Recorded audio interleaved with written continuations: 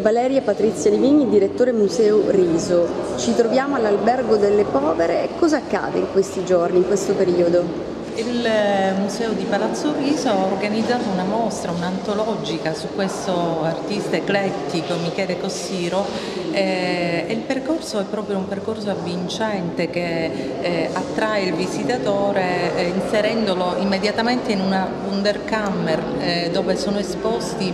i gioielli che Cossiro eh, fa, realizza con una tecnica abbastanza antica, quella della cera persa, gioielli che trasmettono, sono dei gioielli scultura che trasmettono veramente la forza degli elementi della natura, eh, la forza di questa musa ispiratrice che è la sua isola natia di Pantelleria e dove le perle, i coralli, eh, ma anche la lava, la forza, del, ehm, la forza, della natura, del vento, del mare sono costantemente riprodotte in queste splendide sculture che poi si riprende diciamo, anche nel percorso che dagli anni 60 fino ad oggi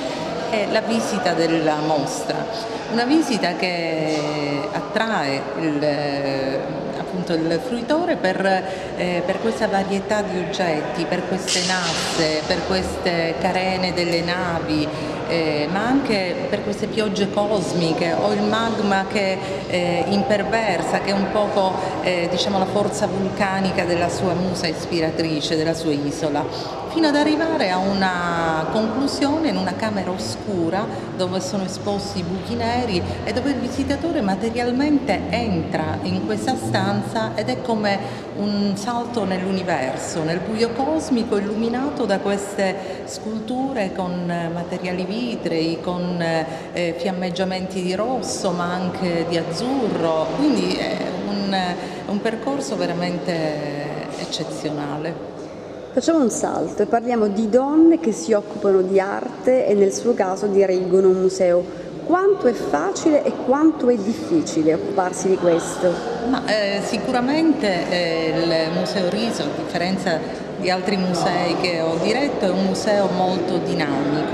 eh, a contatto con la realtà dei giovani, infatti il Museo Riso ha anche uno strumento importante per i giovani artisti che è questo archivio del Sax dove i giovani artisti si iscrivono, vengono selezionati da una commissione ad hoc e hanno la possibilità, se selezionati, di essere eh, inviati in residenze, eh, di poter fare esperienze a contatto con curatori internazionali, eh, produrre opere eh, e realizzare qualcosa che fa parte di un percorso, ehm, un percorso induttivo. Ecco, quindi è importante l'attività che svolge e vogliamo dare proprio un segno eh, particolare questo museo. Proprio eh, tra breve avremo la mostra con le residenze che i nostri eh, giovani hanno fatto alla Fondazione Merx, eh, sempre tra breve eh, dovremmo realizzare la mostra su Emilio Sgros, Guccione, quindi abbiamo Guccione la scuola di Scicli, quindi diciamo, abbiamo in mente proprio di portare questi grandi nomi della nostra arte contemporanea,